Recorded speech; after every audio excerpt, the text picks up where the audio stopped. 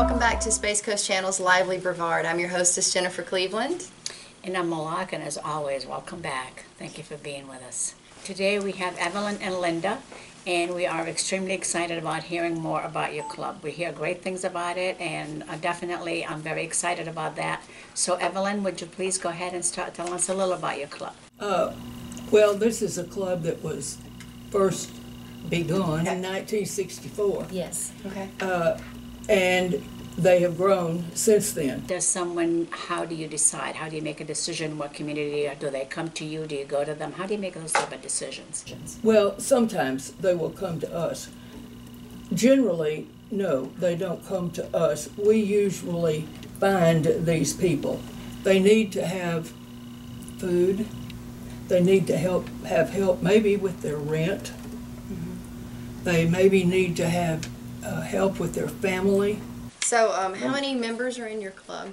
Well, we have approximately right now uh, 70 members. Oh, that's wonderful. And do you have any events or anything that you just um, finished? That Well, yes, we have just finished the uh, Satellite Beach Founder's Day. Uh, And that's a very big program for us. excellent. And um, Linda, you were telling me about something to do with libraries. Tell me about your how you're connected to libraries. Um, when the organization in Satellite Beach formed, there was a need for a library because it was a new city at, at 19, in 1964. And um, women's clubs have been known to establish libraries. We've uh, established about 75% of all public libraries in the United States. so the, the uh, women of the club knew there was a need and they collected books, bought books, and ran the library for a short period of time. And it's uh, grown from there. Well, Linda, I'm looking at uh, your brochure, and Evelyn, this is a great brochure for anyone that wants more information about you. And it's fascinating all the major past products that you have done. And I'm very interested in hearing just a little more about um, the Hacienda Ranch. What do you What do you aim for that particular organization? At the current time, every two years, uh, we elect new state officers and uh, the executive committee, and the state president chooses her special project. And then the clubs throughout the state of Florida, uh, ours being one of them, there are over 200 clubs in Florida.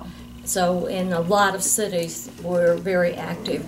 And she chose Hacienda Girls Ranch as her special project to raise funds. Um, at, at the current time, one of the basic needs that they have is for a fence, not to keep the girls in, but to protect the girls because Yes. when the property was built, it was uh, pretty barren around there. Now the city of Melbourne has grown up and are- is very, very close. And so one of the objectives is to um, get a security fence to Wonderful. help protect the girls. The girls at Hacienda are have been taken from their homes uh, through court uh, from uh, abuse or neglect and need that security. Absolutely. Yes. Yes, so we're working on that. Do you have any um, upcoming meetings that people can go to, or are they, are they open to the public? Yes, they're open to the public. Um, we meet the third Monday of each month, and we meet at 10 o'clock. Uh, meeting starts at 10:30, but we have social time from 10 to 10:30, and we meet at the Satellite Beach Library in in the um, activities room. And I see that you have an annual membership fee. What is that? The membership fee right now is uh, forty-three dollars, and that's for one year. And uh, with that, you get the yearbook with uh, all of the, the bylaws and the list of all the members' names and their addresses, phone numbers, birthdays, and um, a membership uh, badge with your name on it. That also means that uh, you're a member of our club, Satellite Beach Women's Club, but you're also a member of the Florida Federation of Women's Clubs. And another question is, I see that, you know, uh, donations. Uh, just tell us briefly about that. How can someone donate to you, and what is it that they're donating? Usually, the donations are uh, money that we raise at our fundraiser, especially Marketplace, which uh, took place last Saturday. The list in our brochure is all of the uh, organizations that, that we give to. So uh, we prepare a budget every year and make a list out, and then the members vote on that. If uh, a member has an idea for a new organization or a new charity or a new need, then um, we adopt that and, and put it into the budget if, if the members want to support that. Any other projects in the past that um, we need to, you know, kind of be aware of, the community we'd like to know about? Uh, we did uh, a large fundraiser a few years ago. It was called Save the Beach.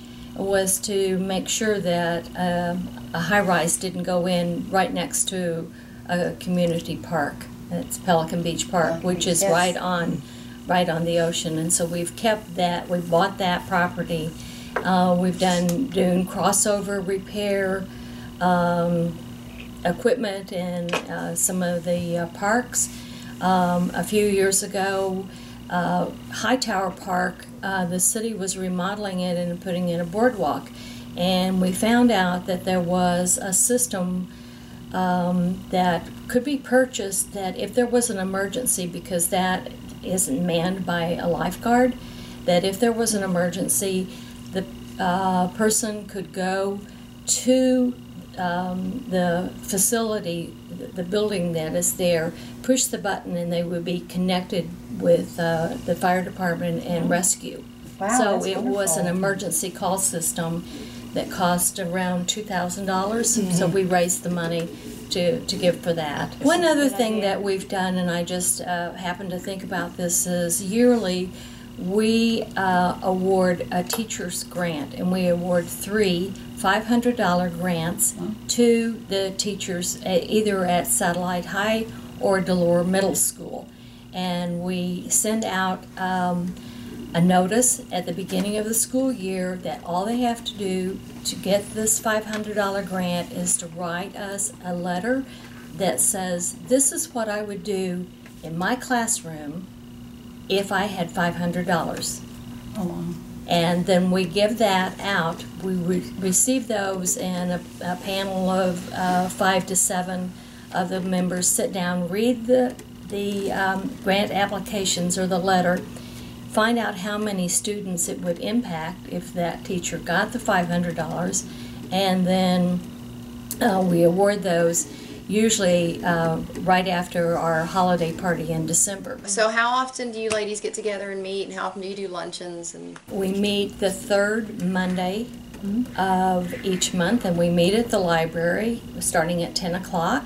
And we have a social time until the meeting starts at 10:30. The meetings we have a different program and different speaker about community issues. Um, each month is a different issue. okay, And um, so uh, we meet starting in September and we go through until June. Then we take July and August off because a lot of members travel or vacation during that time. So, but the rest of the time, every month we meet once a month. wonderful. So, how would um, someone get in touch with you if they were interested in joining your organiz- organization or visiting? Um, you can find us at SB Women's Club at gmail.com. Okay. Or uh, we have a post office box in Satellite Beach. It's uh, GFWC Satellite Beach Women's Club. And, that's on your shirt, isn't it? GFWC. Yes, okay. it is. Yes, it is. And then, do you have a phone number or to, to reach your Um, Facebook page? Uh, we do have Facebook page. Okay. Yes. Beautiful. Yes. We have go home and like it. Yes, you should. Thank you all so much for coming and talking to us, and it's wonderful and sounds like a, a wonderful organization and brings a lot to our community. Well, thank you. Yeah, We thank you for appreciate- having us. Yeah. Absolutely, and you know, this is fascinating because a lot of these organizations we're all connected to, So I'm very proud of your organization, proud of you ladies for being here. Thank you for your time. And Thank to our you. audience, obviously, please, if you have any contributions, we'd like to help them out, please. As you can see right here on their shirts who they are, and reach out to them. Thank you for joining us today.